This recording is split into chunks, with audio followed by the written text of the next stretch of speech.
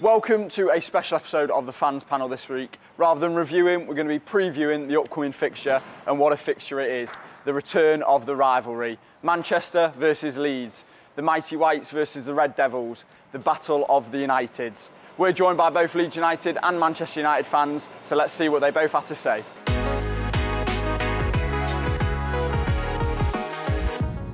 Today we're joined by Jeremy and Katie from the Leeds fans panel, Mark from the United Stand and Tony from the Webby and O'Neil YouTube channel. Guys, thank you very much for joining us.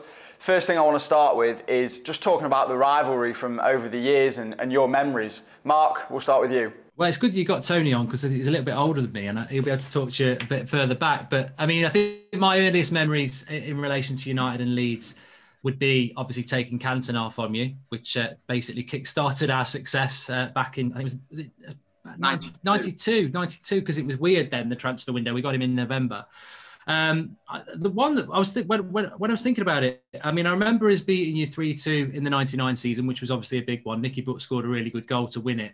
But the one that really comes out to me at um, uh, was from Elland Road, and I don't know why it came into my, why it comes into my head was um, we went there and we won 1 0 but uh, Sir Alex dropped David Beckham, and it was massive news. Like apparently Brooklyn was ill the day before, um, and David Beckham was in the stands at Elland Road.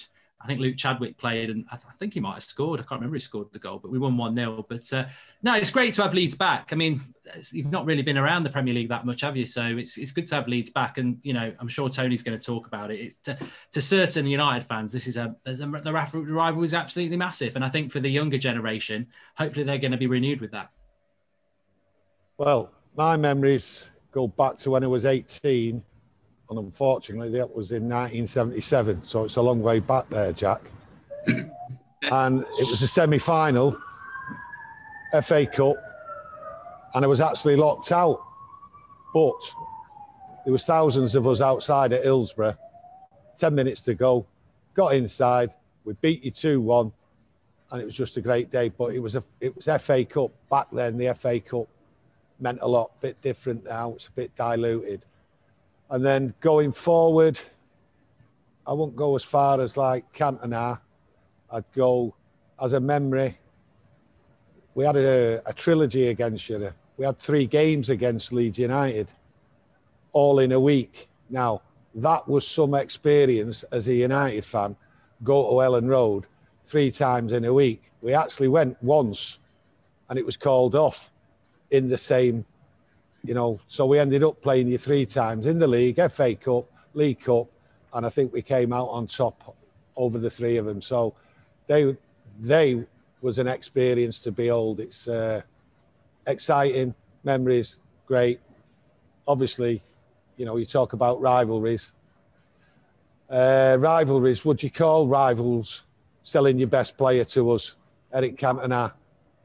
Not the first one. There's been how many transfer sagas there have been between between the two clubs, really. You know, you you you seen what Eric Cantona done done for us. So thank you very much for that, and uh, I'll leave you with the rest. My first memory is that cup semi final as well. I was probably eight or nine then, which unfortunately too young to get there. But I was uh, born and bred in Sheffield, so, so being down the road, knowing it was going on, not really quite understanding what a cup semi final was, but even then knowing I hated I hated that lot and uh, uh, really didn't like getting beaten by them in uh, in a cup semi final. But obviously, uh, more recently, the happy memories of the 1991 uh, season where uh, they absolutely um, completely capitulated last few games and we deservedly beat them there to that title and continued their long run of of, of not winning anything. And then obviously more recently, it was extremely pleasurable uh, being at Old Trafford for uh, the uh, 1 0 with uh, the goal at the Beckford end. Uh, I mean, it, particularly joyful given that we were at our absolutely lowest ebb.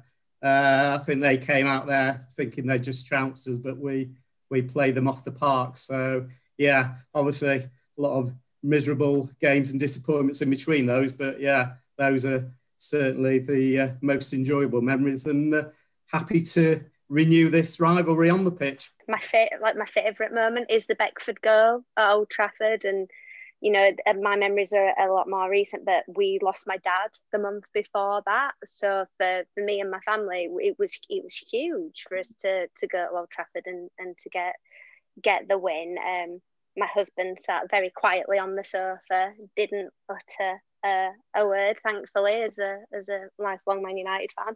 But yeah, it's the the last chance that we had to to get to a game. I was forbidden to attend Elland Road because I was about 30 weeks pregnant nine years ago. Um, and it was you are not going because you will just get into trouble. Um, luckily, it's not caused any issues in our marriage. Uh, Sunday will be interesting. I was going to say, Kate, what's the what's the build up like for for Sunday's game? Has there been a bit of to and fro in the house?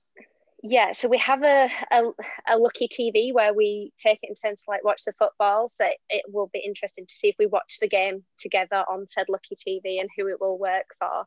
Um, our son is a firm Leeds United supporter. There were two rules: he couldn't support Le- uh, Man United, and he couldn't support Millwall. Anything else could go. And I have laid claim, and he is a firm Leeds United fan.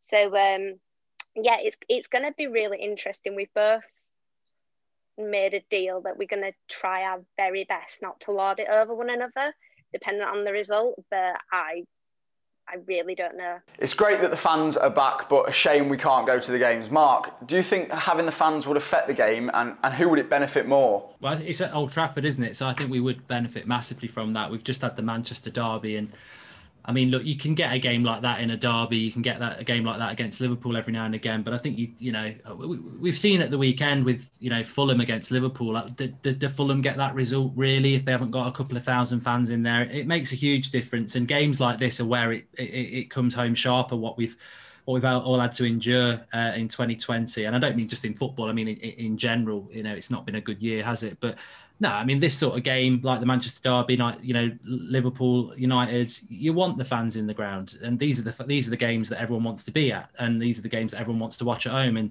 the atmosphere that, that that's provided for the people who are watching at home, the fans are a huge part of that. It's, it will it'll be interesting, I think. Suppose in some ways it, it, it, probably benefits the away team. We've had a really good run away from home, but at home we've not been so good. Um, so it probably benefits a Leeds side that will definitely play expansive football as they do under Bielsa.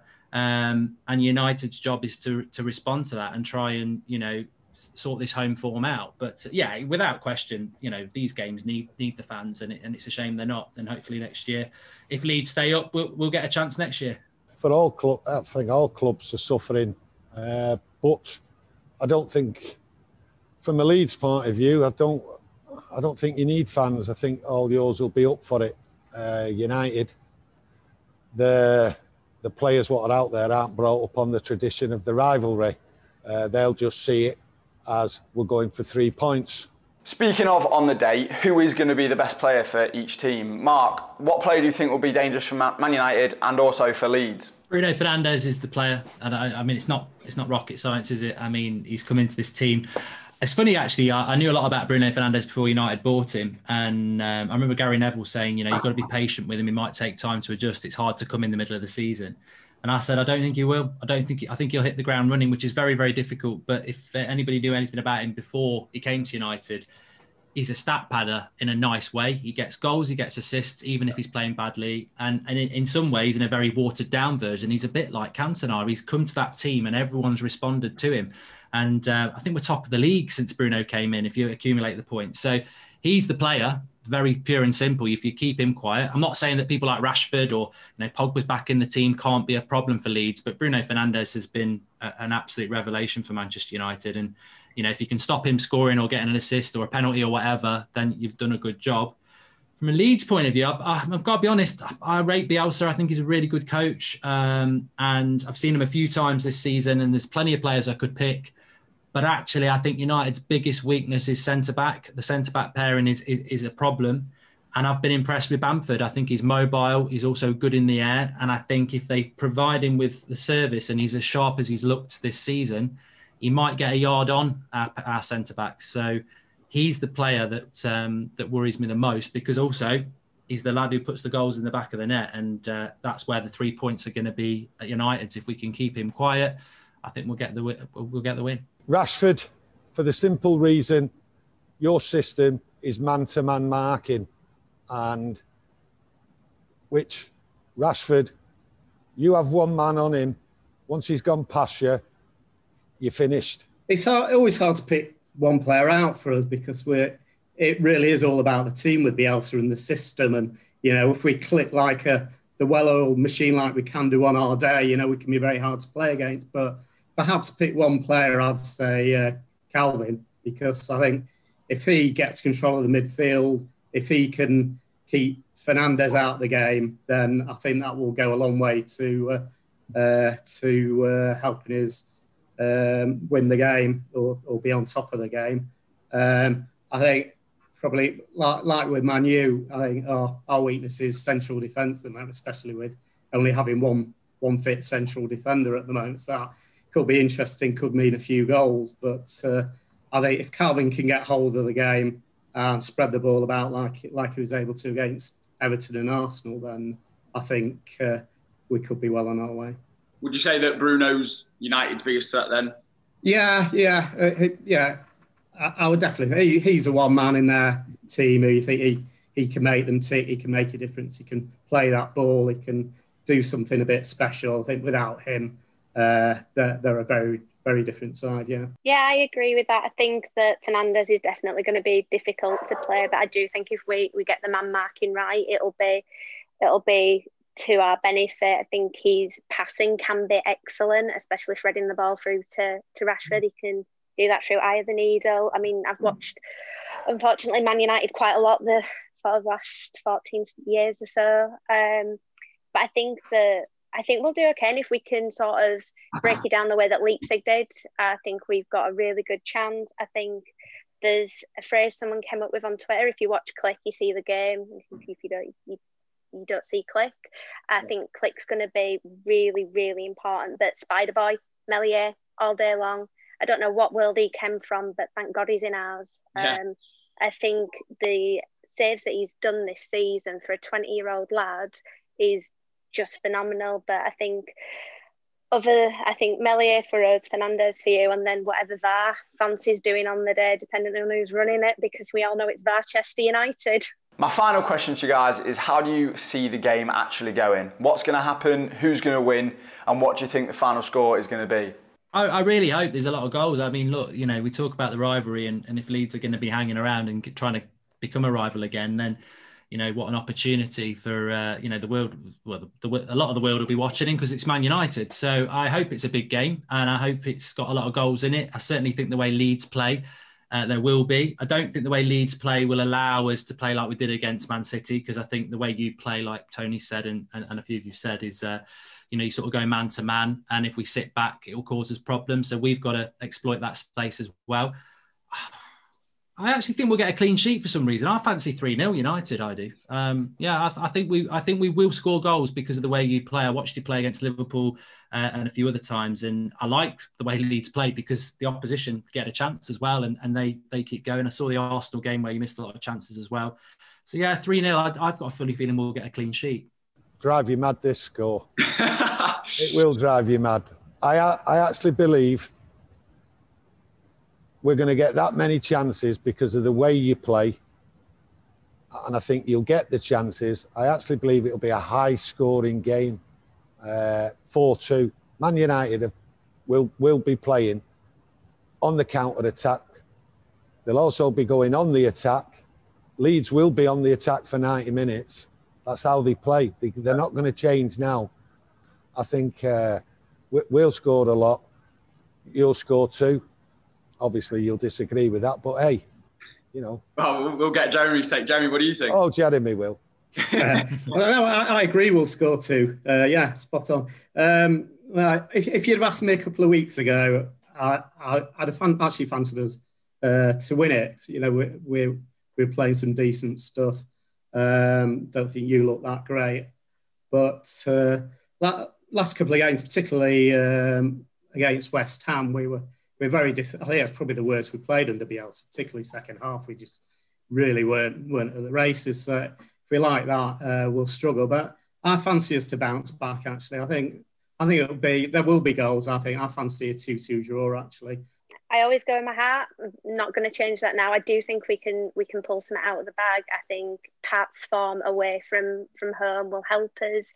I think that your back line will also help us. So I think that it's going to be end to end. I'm going with a two-one Leeds win.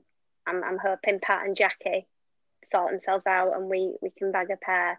But I think set pieces set pieces um, is my nervousness. So I'm mm. going two-one Leeds Yes, it's, it's, going to be a difficult game, but an exciting one at that, and I'm sure we're all looking forward to it. Guys, thank you. Thanks a lot for joining thank us. Thank you very much, Jack.